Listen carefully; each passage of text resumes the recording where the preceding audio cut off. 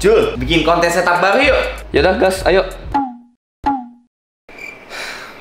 Gak jadi deh Jul, kursi gue udah buluk banget, jadi nggak mood gue. Ya Allah, berikanlah aku kursi gaming yang mereknya Secret Lab. Kalau bisa, yang tipenya cookies and cream. Amin. Apa? Doaku dikabulkan. Akhirnya kursi gaming impianku dikabulkan doaku. Terima kasih ya Allah. Jol, ayo record lagi Jol. Ada kursi gaming baru. Emang ya guys ya, doa orang soleh itu langsung terkabulkan guys. Hari ini kita dapat kursi gaming baru ya. Jadi sebelum kita syuting buat setup baru, kita bakal unboxing dulu nih kursi gaming baru idaman gua yang udah gua impikan sejak lama ya. Karena kursi gaming lama gua tuh udah sekitar hampir 4 tahun kayaknya guys ya. Itu udah lama banget dan ya kita langsung unboxing aja dulu nih ya. Secret Lab ya. Ini yang cookies and cream guys. Waduh, ini gua demen banget sih warnanya guys. Kita buka dulu coy. Kita buka dulu ya guys ya. Wah keren banget coy. Kita baca dulu guys ya. 2002 series Zero Compromise. Engine to last. Breathless Ability Test Speed Drop Test. Wah ini keren banget sih guys. Kita buka dulu ya. Ada apa di sini? Wah coy. Ada ini yang gede banget. Oh ini cara pemasangannya guys ya. Wah ini sih lengkap banget Dan buku pemasangan biasanya kalau kursi gaming tuh cuma kertas lembar. Ini bener-bener kertas gede banget coy. Dan menurut gue ini keren banget guys ya. Wah ini ada apa nih guys Ini ada giniannya nih kayak amplop gitu ya Siapa tahu ada duitnya isinya guys ya Kita buka ini ada apa? Evo 2002 series. Ini yang terbaru ya guys ya. Oh, user manualnya ini bahasanya ada bahasa Inggris macam-macam ya guys ya. Oh, ini cara pemasangannya lah. ya. Oke, kita lihat dulu ya. Selain ini ada apa lagi? Nah, ini dia kursinya coy. Wah. Gila, ini gede banget guys. Kita keluarin dulu deh. Oke, jadi gua akan mengajarkan ke kalian gimana caranya kalian untuk merakit kursi gaming Secret Lab 2022 versi cookies and cream yang terbaru, guys ya. Jadi caranya Jul, rakitin Jul. Nasib, nasib.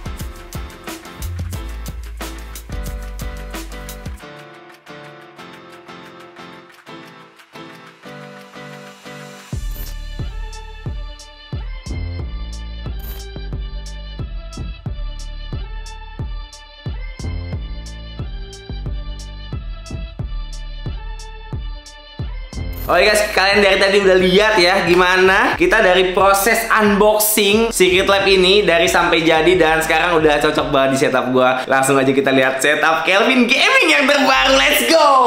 Nah, ini dia guys ya. Kalian lihat tuh. Wah, ini eh, Secret Lab ini jadi pengganti kursi gaming gue yang lama banget yang udah usang ya dan sekarang cocok banget di sini kalian lihat ya. Nah, ini sebenarnya kalau kalian nonton gaming eh room tour gue yang lama ya, ini rada berbeda jadi penempatan posisi dan dulu ini kan kalau kalian lihat ya, ini tuh nggak ada gini-ginian guys. Jadi benar-benar dulu ini cuma green ya, green wall. Jadi gua kasih tahu ini adalah ruangan green screen, bukan green screen sih, green wall di tempatnya karena ini tembok guys. Tapi sekarang udah gua rubah, jadi ini pun uh, gua banget sama mejanya. Jadi meja yang uh, gua pakai ini adalah meja baru ya, ada mereknya Logitech dan ini bisa diatur guys ya. Tuh, bisa dinaikin, bisa diturunin.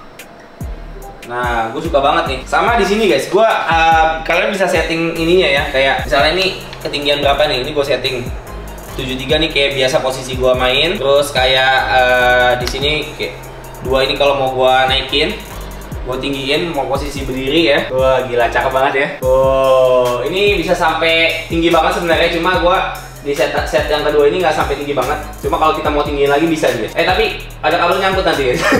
Kabelnya nggak nyampe sepanjang itu ya. Nah di set yang ketiga ini kayak gue uh, biasa kalau gue nge-record ininya tuh tripodnya tuh gue taruh di meja sini. Jadi ini gue susun yang paling pendek ya, yang paling rendah. Terus tripodnya tinggal gue taruh di sini guys ya. Nah jadi sampai ini mejanya nih rendah banget gitu. Tuh, ini sampai 64 cm doang ya. Jadi uh, enak juga misalnya kalian mau makan di meja gitu ya. Mau makan di meja komputer sambil nonton gitu. Ini enak juga guys. Makanya gue pilih uh, meja kayak ginian ya. Untuk PC gua sih sebenarnya ini PC uh, lama banget guys ya, cuma kemarin yang pas gue di Singapura, ini gue kasih beberapa uh, beli beberapa action figure ya dari uh, Demon Slayer dan ini lucu banget menurut gue. Tuh kalian lihat ya, beberapa ini gue masukin sini. Ini sarannya dari Jul ya, saran dari Jul untuk masukin action figure di dalam PC dan menurut gue itu oke okay banget sih guys. Nah ini untuk monitornya, uh, gue pakai dua monitor guys ya. Yang satu ini yang curve, uh, monitor gue yang lama yang dari Gigabyte ya, masih gue pakai sekarang ini enak banget. Plus gue ada tambah satu monitor lagi uh, dari Prism Plus ini Singapura punya. Di pas kemarin tuh gua acara Good Game Asia gua dapat setup PC-nya jadi bisa gua bawa pulang monitornya. Alhamdulillah ya rezeki anak soleh. Jadi akhirnya gua pakai buat ini kedua uh, monitor gua yang kedua guys. Kalau kalian lihat di sini guys ya, ini ada lampu-lampu baru yang gua demen banget coy. Ini gua beli waktu itu di mana? Shopee apa Tokopedia lupa. Kalau salah nama tokonya tuh Light Up Line. Gua pernah promosiin juga di IG gua dan gua nggak di endorse tapi gua suka sama uh, kerjanya dia gitu. Serapi, bagus banget ini menurut gua ya. Uh, Kelvin Gaming dan juga ini gede banget. Nih kalau kalian lihat ya. Ini seukuran TV kayaknya guys ya. Satu meter lah kurang lebih nih uh, gedenya. Plus di belakang gua, ini kalian lihat di sini ada lampu nano leaf ya. Ini juga gue dapetin dari Good Game Asia. Jadi gue bisa bawa pulang dan ini gua setup sendiri ya. Pasang sendiri sama Jul berdua. Ditambah ini kita bisa atur enak banget bisa atur lampu-lampunya lah ya. Kalian mau ini warna putih atau warna apa ini kalian bisa set sendiri atau nggak bisa kalian sesuaiin sama uh, suara itu juga bisa. Cuma gue lebih demen kayak gini sih, simple. Nah, ini di bagian kiri ini sebenarnya ada pajangan guys, pajangan si Zenitsu. Ini gue beli murah banget sumpah. Gue beli di Tokped ini cuma sekitar 50 ribuan ya, 55 ribu apa berapa gitu. Gue lupa yang pasti ini murah banget. Tapi kalau kalian pajang di sini tuh ini cakep banget coy. Ih, wibu. Soalnya kayak uh, nyambung gitu dan ini cuma ditempel pakai double tip btw. nah untuk di sebelah sini guys, ini ada green screen ya green screen gua nih dari Elgato ya. Biasanya gua pakai green screen yang ini. Kalau buat record ini karena bisa portable ya ini kan cuma tinggal ditarik doang gitu. Tuh ya. Temen begini. Gampang banget makainya. Tinggal ditarik taruh belakang kursi ya. Taruh di sini udah gue tinggal record gitu doang. Jadi ini memudahkan gue sekali dibandingin gue pakai green wall kayak dulu.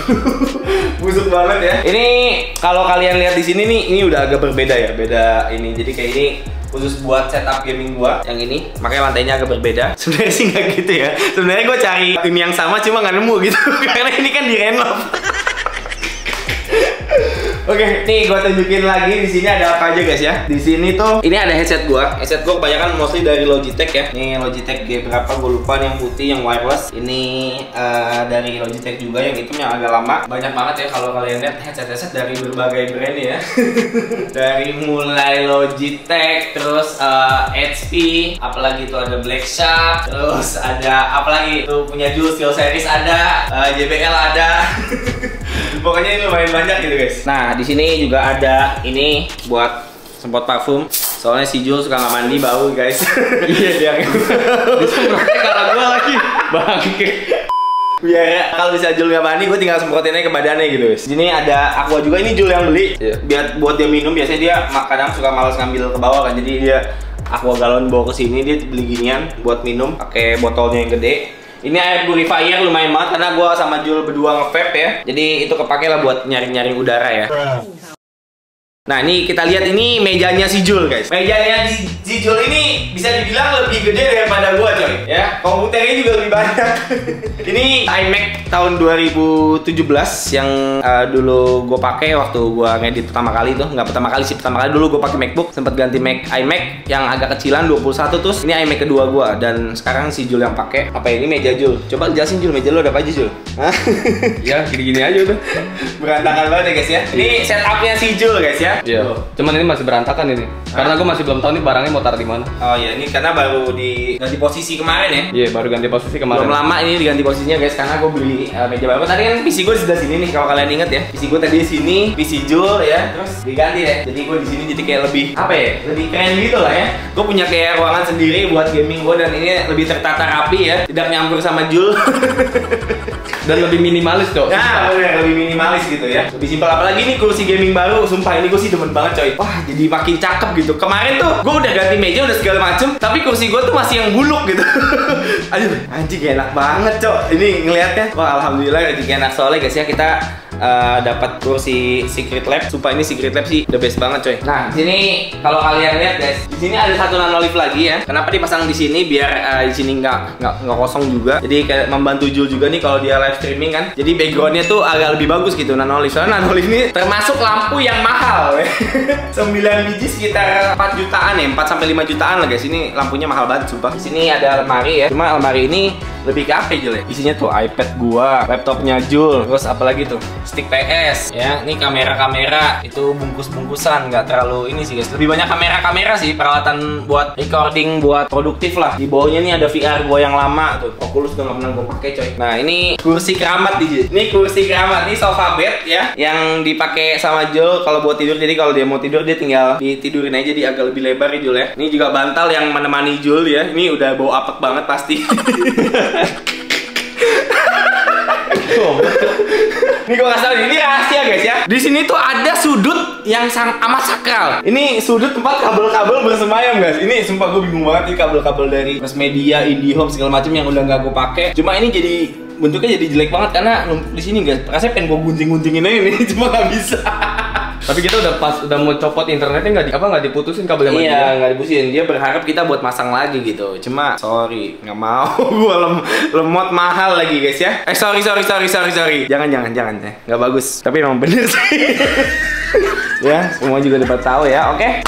Ya, kurang lebih itu dia guys ya. Ini setup baru gua ya. Kalian udah melihat eh, ruangan baru gua kayak gimana dan Gila gimana guys? Gimana menurut kalian? Kalian nilai eh, setup baru gua dibandingin setup lama gua? Setup lama gua busuk banget tuh. Gua walaupun PC lama ya, PC tahun 2018 masih pakai GTX 1080 Ti, gua belum ganti-ganti. Yang baru gua upgrade ini waktu itu cuman apa RAM-nya doang jelek. RAM sama ganti itu. Oh ganti ini air cooling. Iya. Dulu gua kan pakai air cooling system. Kalian eh, tahu kan yang water cooling system ya? Water cooling yang ada air airnya gitu. Se- Sempat pernah lo review juga. Ya, sempat gue pernah review juga kalau kalian nonton konten gue yang udah lama kan 2018.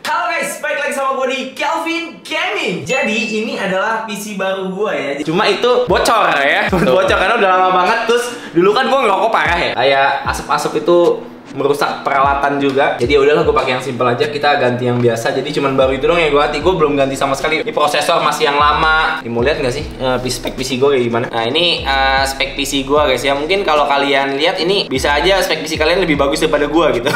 Cuman kayak RAM-nya 32 GB. Terus apalagi ini ini pakai 1080 Ti ya. Prosesornya Intel Core i7 8700. Ini 8700 generasi berapa cuy? 8000 2018 tau gue dah. Duh, ya, maksudnya generasi Gen 9, Gen 10 gitu. Soalnya kalau setahu gue ya, Oh Gen 8 ya kan lah, depannya 8700 Ya kurang lebih nih inilah Gen 8 8700 3,7 GHz Cuma ini dulu sih kenceng banget guys Dulu gue kayaknya pas build PC ini habis sekitar 40 jutaan gitu Cuma kalau sekarang 40 jutaan lu udah dapet 30 30 80 atau 30 90 kali ya Mungkin ya Nyampe nggak? Nggak nyampe ya? Bisa Bisa ya? lah. Bisa ya? possible cok. Bisa ya. Sekarang sekarang gue cuman dulu cuman dapat 1080 Ti guys. Karena zaman dulu ya. Tapi gue belum ada belum ada rencana buat upgrade lagi sih PC gue karena gue pakai ini pun nyaman gitu guys ya. Karena gue mainnya Magic Chess. gue masih belum butuh terlalu spek PC tinggi-tinggi karena belum gue pakai ya. Jadi kayak gue tuh lebih kayak pakai sesuai kebutuhan aja gitu. Ini btw lampu gue lighting gue cuma satu guys. Sebenarnya gue ada harusnya ada dua ya. Gue udah pesen satu lagi di Tokped, eh, cuma belum datang ya. Oh ya sama ini belum gue kasih tahu nih, ini juga baru guys. Ini buat gagang mic baru ya. Ini gue beli mereknya apa? Tron Max. Gue lihat-lihat di YouTube katanya bagus nih harganya 700 ribuan lah ini. Cukup kekar ya. Dan di sini gue senangnya ada buat inian kabelnya guys. Tuh. Jadi lebih rapi gitu lah ya. Ini gampang juga gini. Kalau nggak pakai Nah, tinggal begini guys. Speaker pun gue udah nggak pakai yang ribet nih, gue cuma pakai speaker uh, jablay ya. Gue beli waktu di Singapura karena gue butuh speaker kecil dan ini tinggal colok USB 3 aja masuk ke sini langsung bisa ada suaranya ya. Yang penting gua ada suara yang nggak perlu kenceng-kenceng, nggak perlu ini ini. Yang penting ada suaranya guys. Jadi nggak ribet-ribet kabel-kabel juga, nggak makan space juga. Ini simple sih menurut gua. Oke, jadi kurang lebih seperti itu guys ya setup gaming setup Kelvin Gimang. Jadi gimana menurut kalian? Kalian suka atau tidak ya? Kalau misalnya kalian ada rekomendasi bang, coba bikin kayak gini bang di yang sebelah sininya bikin apa gitu bang ya? Coba kalian komentar di bawah siapa tahu bisa jadi referensi gue untuk mengupgrade lagi gaming setup gue. Misalnya gue bikin apa lagi biar lebih keren gitu ya. Kalau yang sebelah sono sih ya uh, itu udah daerah kekuasaannya si Jul ya guys ya. Tapi kalau sebenarnya sih ini apa ya guys ya? Sebenarnya ini udah cukup bagus. Cuma apa ya? Cuma berantakan aja gitu. Karena Iya. belum diberesin. Kalau ini udah dirapin sama Jul harusnya kelihatannya lebih bagus ya. Ini banyak banget barang-barang hancur berantakan lah. Jul, kita beresin Jul. Ada barang lu juga masalahnya. Oh, ada barang gua juga ya. Ada barang lu juga. Oke, guys, thank you banget buat kalian semua yang nonton ya. Eh, sampai jumpa di video-video berikutnya. Thanks for watching. Don't stop playing. Stay with Kelvin Gaming.